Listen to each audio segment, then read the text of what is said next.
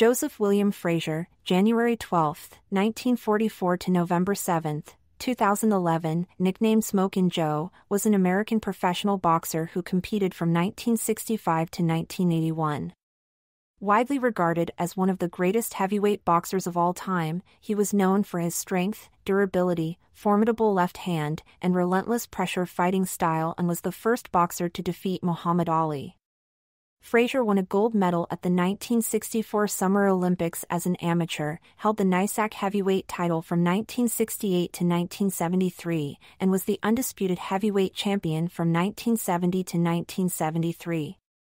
Frazier emerged as the top contender in the late 1960s, becoming undisputed heavyweight champion in 1970. In 1971, he defeated Ali by unanimous decision in the highly anticipated fight of the century. Two years later, Frazier lost his title to George Foreman. Frazier's last world title challenge came in 1975, but he was beaten by Ali in the brutal rubber match, the Thrilla in Manila. Frazier retired in 1976 after a second loss to Foreman but made a comeback in 1981, before retiring for good with a record of 32 wins, 4 losses, and 1 draw. The International Boxing Research Organization rates Frazier among the 10 greatest heavyweights of all time, the Ring magazine named him Fighter of the Year in 1967, 1970, and 1971, and the Boxing Writers Association of America, BWA, named him Fighter of the Year in 1969, 1971, and 1975. In 1999, The Ring ranked him the eighth greatest heavyweight. He is an inductee of both the International Boxing Hall of Fame and the World Boxing Hall of Fame, having been a part of the inaugural induction class of 1990 for the IBHF. His style was often compared with that of Henry Armstrong and occasionally Rocky Marciano and was dependent on bobbing, weaving, and relentless pressure to wear down his opponents. His best known punch was a powerful left hook, which accounted for most of his knockouts. In his career, he lost only two fighters, both former Olympic and world heavyweight champions, twice to Muhammad Ali and twice to George Foreman. Frazier continued to train fighters in his gym in Philadelphia. His attitude towards Ali in later life was largely characterized by bitterness and contempt but was interspersed with brief reconciliations. Early life Joe Frazier was born January 12, 1944, the 12th child of Dolly Alston Frazier and Reuben in Beaufort, South Carolina. He was raised in a rural community of Beaufort called Laurel Bay. Frazier said that he was always close to his father, who carried him when he was a toddler over the 10 acres of farmland the Fraziers worked as sharecroppers to the still where he made his bootleg corn liquor and into town on Saturdays to buy the necessities that a family of 10 needed.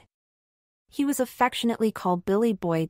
Reuben Frazier had his left hand and part of his forearm amputated in a tractor accident the year that his son was born.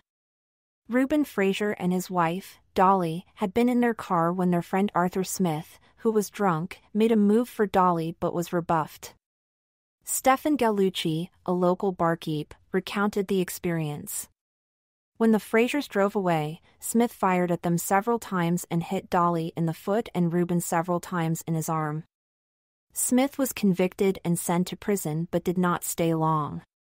Dolly said, If you were a good workman, the white man took you out of jail and kept you busy on the farm. Frazier's parents worked their farm with two mules, Buck and Jenny. The farmland was what country people called white dirt, which is another way of saying it isn't worth a damn. They could not grow peas or corn on it, only cotton and watermelons. In the early 1950s, Frazier's father bought a black and white television. The family and others nearby came to watch boxing matches on it. Frazier's mother sold drinks for a quarter as they watched boxers like Sugar Ray Robinson, Rocky Marciano, Willie Pep, and Rocky Graziano. One night, Frazier's uncle Israel noticed his stocky build. That boy there, that boy is gonna be another Joe Louis, he remarked. The words made an impression on Joe. His classmates at school would give him a sandwich or a quarter to walk with them at final bell so that bullies would not bother them. Frazier said, any skimbuga, disrespectful, low-down and foul person, who got in my face would soon regret it, Billy Boy could kick anybody's ass. The day after his uncle's comment, Frazier filled old burlap sack with rags, corn cobs, a brick, and Spanish moss. He hung the makeshift heavy bag from an oak tree in the backyard. For the next six, seven years, damn near every day I'd hit that heavy bag for an hour at a time. I'd wrap my hands with a necktie of my daddy's, or a stocking of my mama's or sister's, and get to it, he remarked, not long after Frazier started working, his left arm was seriously injured while he was running from the family's 300 pound hog. One day, Frazier poked the hog with a stick and ran away. The gate to the pig pen was open, however, and the hog chased him. Frazier fell and hit his left arm on a brick. His arm was torn badly, but as the family could not afford a doctor, the arm had to heal on its own. He was never able to keep it fully straight again. When Frazier was 15 years old, he had been working on a farm for a family named Bellamy. They were both white men, Mac was younger and more easygoing, and Jim was rougher and somewhat backward. One day, a black kid about 12 years old accidentally damaged one of the Bellamy's tractors. Jim became so enraged he took off his belt and whipped the boy with his belt right there in the field. Frazier saw the event and went back to the packing house on the farm and told his black friends what he had seen. Soon, Jim saw Frazier and asked him why he told others what he had witnessed. Joe then told Bellamy he did not know what he was talking about. But Jim did not believe Frazier, and he told Frazier to get off the farm before he took off his belt again. Frazier told him to keep his pants up because he was not going to use his belt on him. Jim then analyzed Frazier for a bit and eventually said, Go on, get the hell out of here. Joe knew from that moment it was time for him to leave Beaufort, and he could see only hard times and low rent for himself. Even his mother could see it. She told Frazier, Son, if you can't get along with the white folks, then leave home because I don't want anything to happen to you. The train fare from Beaufort to the cities up north was costly, and the closest bus stop was in Charleston, 75 miles 121 kilometers away. Luckily, by 1958, the Greyhound Line's bus, called the Dog by locals in Beaufort, had finally made Beaufort a stop on its South Carolina route. Frazier had a brother, Tommy, in New York and was told that he could stay with Tommy and his family. Frazier had to save up a bit before he could make the bus trip to New York and still have some money in his pocket, and so he first went to work at the local Coca-Cola plant. Joe remarked that the white guy would drive the truck and that he would do the real work stacking and unloading the crates. Joe stayed with Coca-Cola until the government began building houses for the Marines stationed at Parris Island, when he was hired on a work crew. Nine months eventually passed since he got the boot from the Bellamy farm. One day, with no fanfare and no tearful goodbyes, Frazier packed quickly and got the first bus heading northward. Joe finally settled in Philadelphia, Pennsylvania. I climbed on the dog's back and rode through the night. It was 1959, I was 15 years old and I was on my own. Amateur career During Frazier's amateur career, he won Golden Gloves heavyweight championships in 1962, 1963, and 1964. His only loss in three years as an amateur was to Buster Mathis. Mathis would prove to be Joe's biggest obstacle to making the 1964 U.S. Olympic boxing team. They met in the final of the U.S. Olympic trials at the New York World's Fair in the summer of 1964. Their fight was scheduled for three rounds and they fought with 10 ounce gloves and with headgear, but the boxers who made it to Tokyo would wear no headgear and would wear 8 ounce gloves. Frazier was eager to get back at Mathis for his only amateur loss and knocked out two opponents to get to the finals. However, once again when the dust settled, the judges had called it for Mathis, undeservedly Joe thought.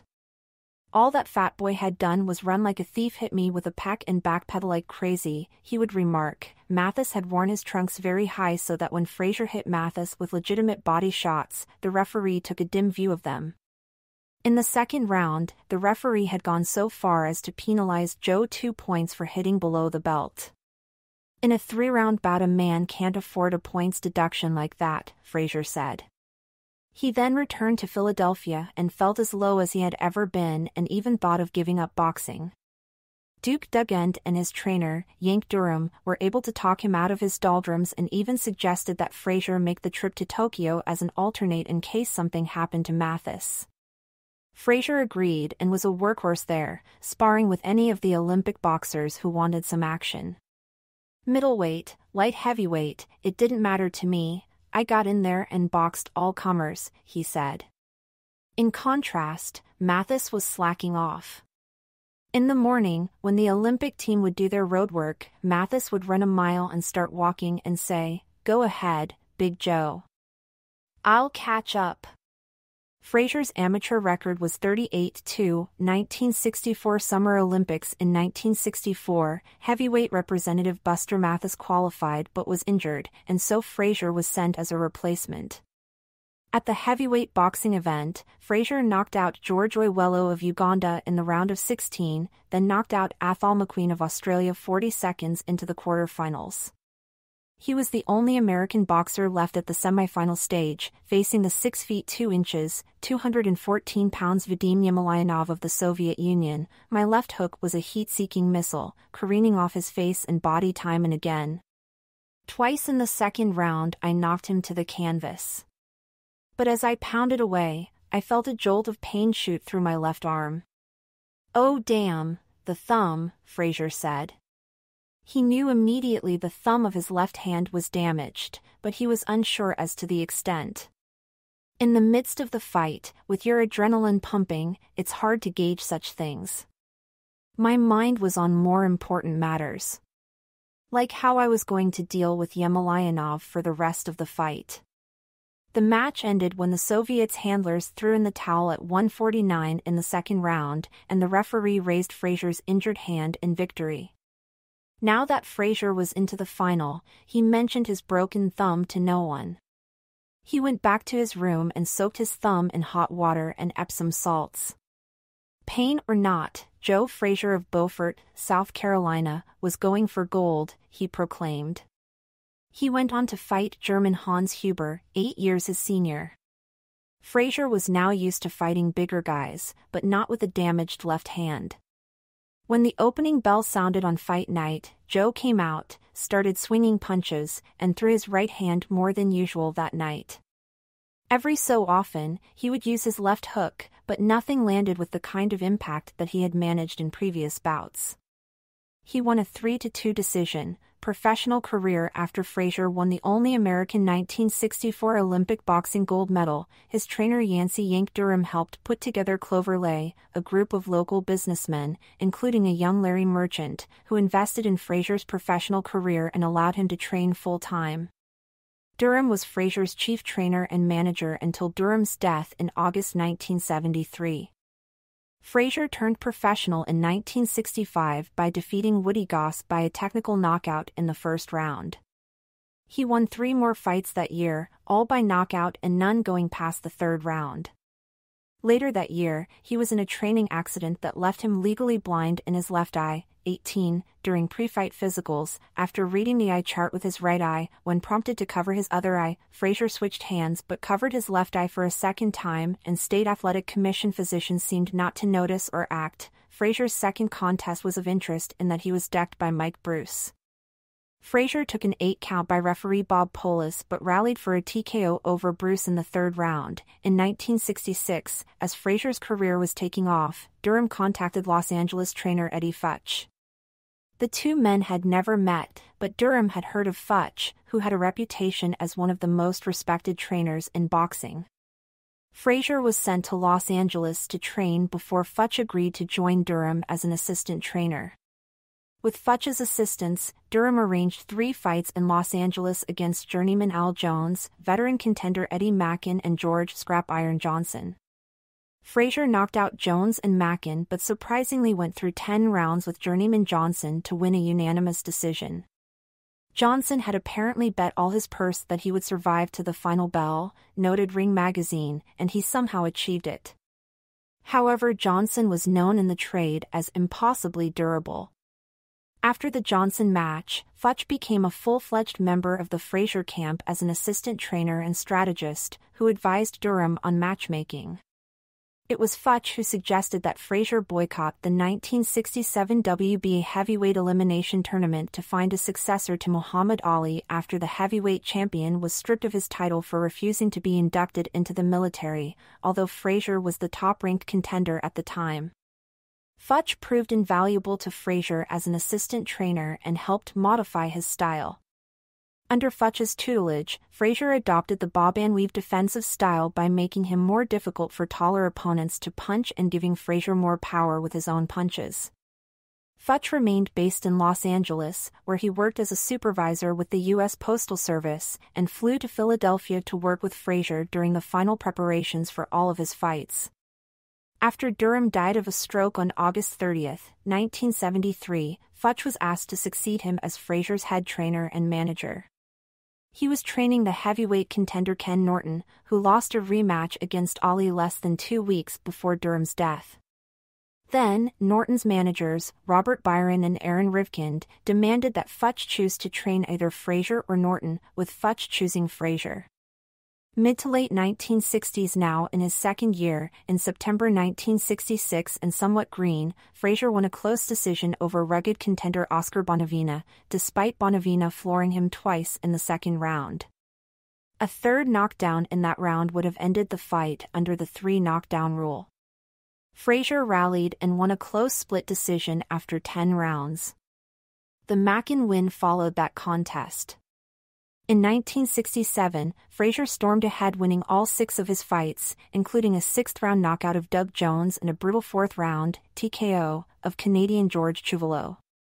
No boxer had ever stopped Chuvalo, but Frazier, despite the stoppage, was unable to floor Chuvalo, who would never be knocked down in his entire career despite fighting numerous top names.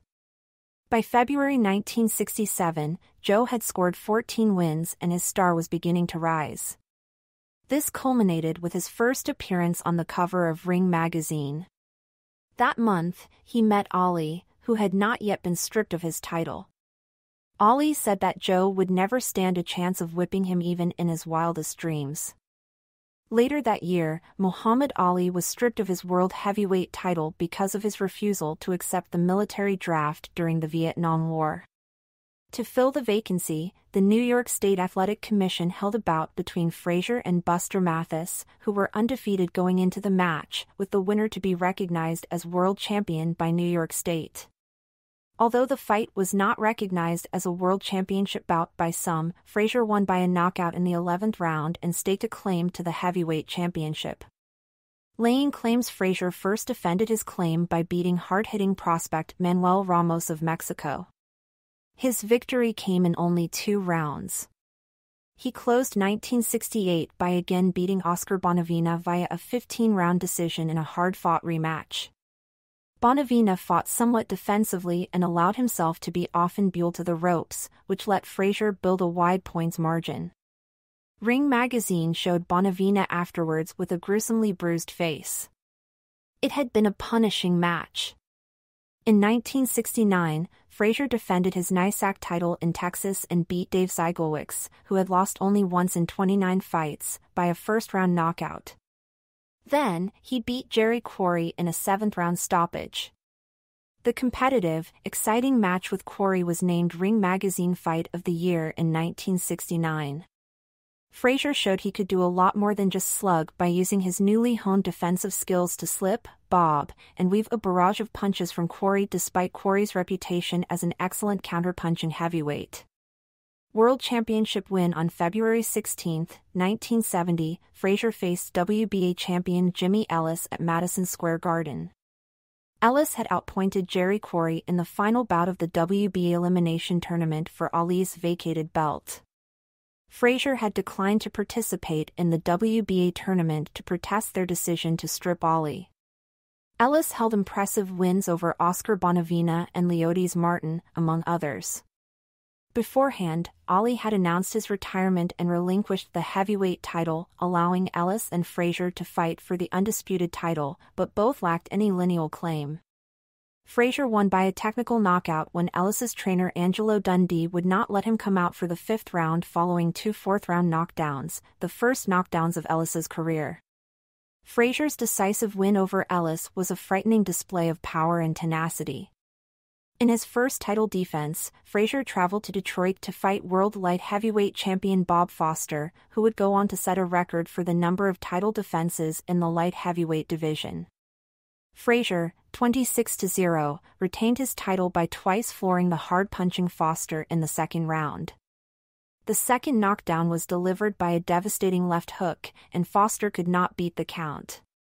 Then came what was hyped as the fight of the century, his first fight with Muhammad Ali, who had launched a comeback in 1970 after a three-year suspension from boxing.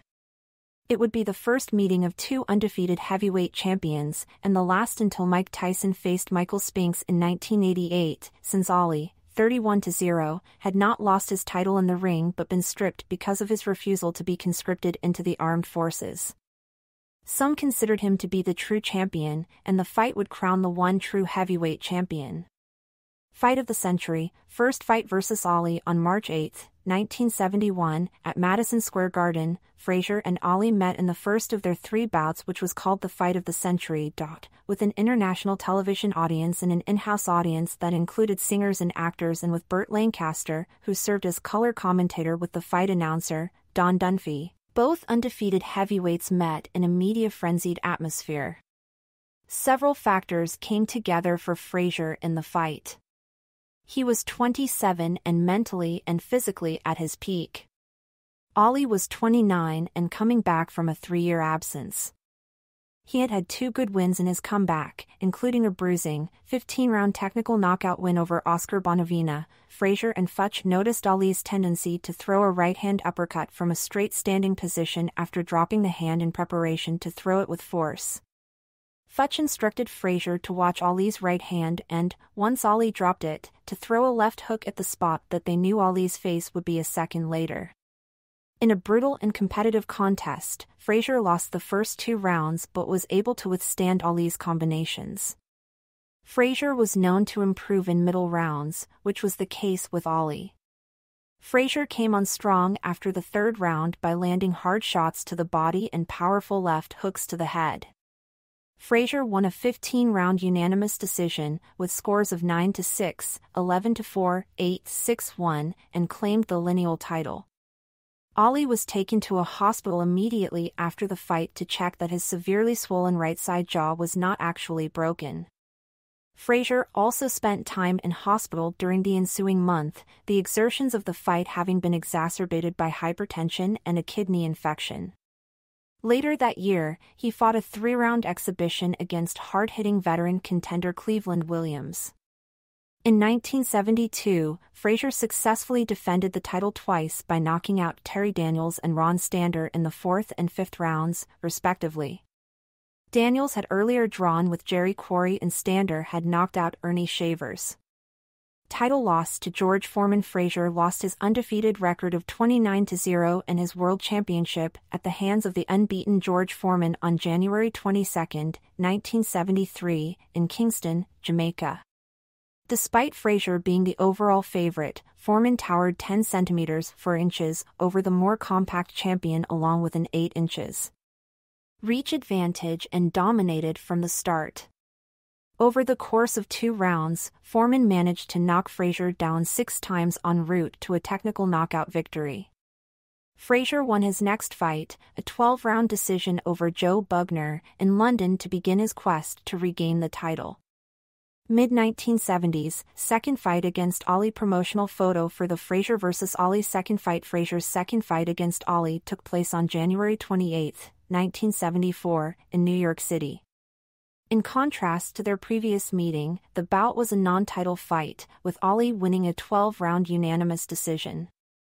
The fight was notable for the amount of clinching, after the fight Tony Perez, when asked about the violation from Ali, he replied that the only violation is if you hold and hit at the same time, although Ali was holding Frazier but he was not hitting. Five months later, Frazier again battled Jerry Quarry in Madison Square Garden by winning the fight in the fifth round with a strong left hook to the ribs. In March 1975, Frazier fought a rematch with Jimmy Ellis in Melbourne, Australia, and knocked him out in nine rounds. The win again established Frazier as the top heavyweight challenger for the title, which Ali had won from Foreman in the famous Rumble in the Jungle five months earlier. Thrilla in Manila, third Ali fight Ali and Frazier met for the third and final time in Quezon City, a district of Manila, the Philippines, on October 1, 1975. Prior to the fight, Ali took opportunities to mock Frazier by calling him a gorilla and generally trying to irritate him. The fight was a punishing display on both sides under oppressively hot conditions. During the fight, Ali said to Frazier, They said you were through, Joe. Frazier said, They lied. Ali repeatedly held Frazier around the back of his neck with his right hand, a violation of the rules that went unpunished by the referee. After 14 grueling rounds, Ali returned to his corner demanding they cut his gloves and end the bout, however, Dundee ignored Ali. This proved fortuitous, as across the ring, Futch stopped the fight out of concern for his charge. Frazier had a closed left eye, an almost closed right eye, and a cut. Ali later said that it was the closest thing to dying that I know of. In 1977, Ali told the interviewer Reg Gutteridge that he felt this third Frazier fight was his best performance. When Gutteridge suggested his win over Cleveland Williams, Ali said, No, Frazier's much tougher and rougher than Cleveland Williams. Fighting Foreman again in 1976, Frazier, 32 3, fought George Foreman for a second time, shaving his head for the fight. Frazier was more restrained than usual and avoided walking into big shots like he had done in their first match. However, Foreman lobbed a tremendous left hook that lifted Frazier off his feet. After a second knockdown, the fight was stopped in the fifth round. Shortly after the fight, Frazier announced his retirement. Frazier made a cameo appearance in the movie Rocky later in 1976 and dedicated himself to training local boxers in Philadelphia, where he grew up, including some of his own children. He also helped train Duane Bobick. 1980s comeback and career as trainer in 1981, Frazier attempted a comeback. He drew over 10 rounds with hulking Floyd Jumbo Cummings in Chicago, Illinois. It was a bruising battle with mixed reviews. He then retired for good. Then, Frazier involved himself in various endeavors. Among his sons who turned to boxing as a career, Frazier helped train Marvis Frazier, a challenger for Larry Holmes's world heavyweight title. He also trained his daughter, Jackie Frazier Lyde, who became a WIBO World Light Heavyweight Champion whose most notable fight was a close majority decision points loss against Laila Ali, the daughter of his rival. Frazier's overall record was 32 wins, 4 losses, and 1 draw, with 27 wins by knockout. He won 73% of his fights by knockout, compared to 60% for Ali and 84% for Foreman. He was a member of the International Boxing Hall of Fame. In 1984, Frazier was the special referee for the NWA World Heavyweight Championship match between Ric Flair and Dusty Rhodes at Starcade 84. He awarded the match to Flair because of Rhodes's excessive bleeding. In 1986, Frazier appeared as the cornerman for Mr. T against Roddy Piper at Nassau Veterans Memorial Coliseum as part of WrestleMania 2. In 1989, Frazier joined Ali, Foreman, Norton, and Holmes for the tribute special Champions Forever. Frazier was inducted into the Madison Square Garden Walk of Fame in 1996. Other work media appearances Frazier appeared as himself in an episode of The Simpsons, Brother, Can You Spare Two Dimes? in 1992, in which he was supposed to have been beaten up by Barney Gumble in Moe's Tavern. Frazier's son objected, so Frazier was instead shown beating up Gumble and putting him in a trash can. Frazier appeared in another episode of The Simpsons, Homer's Paternity Coot in 2006. He appeared on screen in the eighth series of The Celebrity Apprentice, USA, television show as a guest attendee at a silent auction event held for the season finale, won by Joan Rivers. Frazier appeared as himself in the Academy Award-winning 1976 movie, Rocky. Since the debut of the Fight Night series of games made by EA Sports, Frazier appeared in Fight Night 2004, Fight Night Round 2, Fight Night Round 3, Fight Night Round 4 and Fight Night Champion. Books Frazier released his autobiography in March 1996, entitled Smokin' Joe, the autobiography of a heavyweight champion of the world, Smokin' Joe Frazier. Frazier promoted the book with a memorable appearance on The Howard Stern Show on January 23, 1996. He also wrote Box Like the Pros, a complete introduction to the sport, including the game's history, rules of the ring, how fights are scored, how to spar, the basics of defense and offense, the fighter's workout, a directory of boxing gyms, and much more. Box Like the Pros is an instruction manual, a historical reference tool, and an insider's guide to the world's most controversial sport.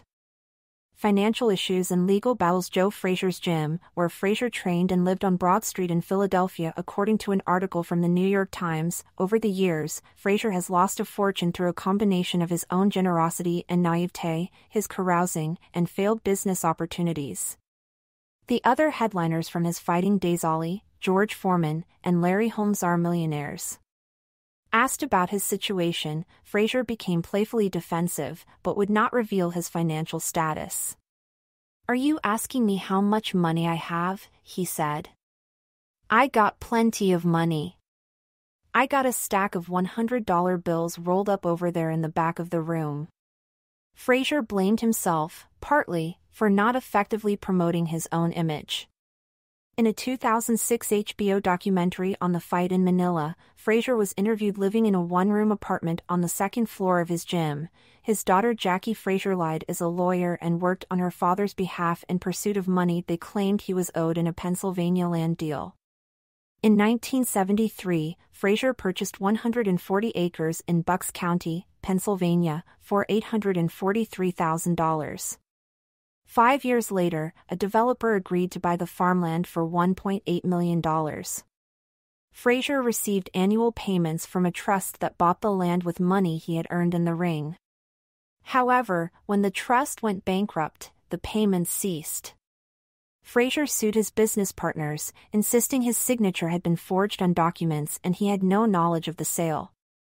In the ensuing years, the 140 acres was subdivided and turned into a residential community. The land is now worth an estimated $100 million. Relationship with Muhammad Ali Initially, Frazier and Ali were friends. During Ali's enforced three-year layoff from boxing for refusing to be drafted into the U.S. Army, Frazier lent him money, testified before Congress and petitioned U.S. President Richard Nixon to have Ali's right to box reinstated. Frazier supported Ali's right not to serve in the Army. If Baptists weren't allowed to fight, I wouldn't fight either. However, in the build-up to their first fight, the fight of the century, Ali turned it into a cultural and political referendum by painting himself as a revolutionary and civil rights champion and Frazier as the white man's hope. Ali called him an Uncle Tom and a pawn of the white establishment as Frazier called him Clay. Ali successfully turned many black Americans against Frazier because Frazier never spoke out about race issues, and Ali could easily paint himself as hero to oppressed black people. Bryant Gumbel joined the pro-Ali anti-Frazier bandwagon by writing a major magazine article that asked, Is Joe Frazier a white champion with black skin? Frazier thought that was a cynical attempt by Clay to make me feel isolated from my own people. He thought that would weaken me when it came time to face him in that ring. Well, he was wrong. It didn't weaken me, it awakened me to what a cheap shot son of a bitch he was. Ali's camp also hurled many insults at Frazier, calling him an ugly gorilla, though Ali had also compared other opponents to animals. He noted the hypocrisy of Ali calling him an Uncle Tom when his, Ali's, trainer, Angelo Dundee, was of Italian descent. When told by Michael Parkinson that Frazier was not an Uncle Tom, he responded by saying, Then why does he insist on calling me Cassius Clay when even the worst of the white enemies recognize me as Muhammad Ali?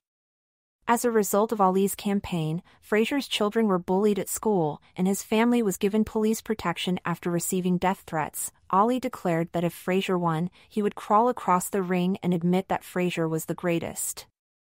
After Frazier won by a unanimous decision, he called upon Ali to fulfill his promise and crawl across the ring, but Ali failed to do so. Ali called it a white man's decision and insisted that he won.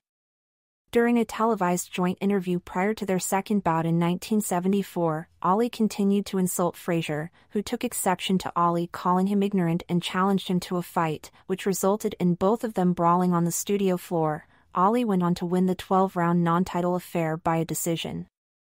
Ali took things further in the build-up to their last fight, the Thrilla in Manila, and called Frazier the other type of Negro and ugly, dumb, and a gorilla. At one point he sparred with a man in a gorilla suit and pounded on a rubber gorilla doll, saying this is Joe Frazier's conscience. I keep it everywhere I go. This is the way he looks when you hit him.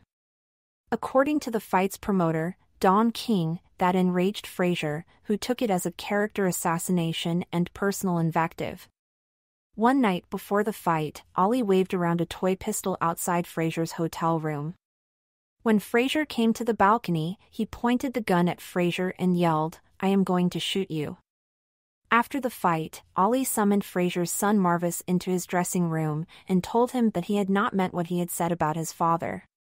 When informed by Marvis, Frazier responded, You ain't me, son.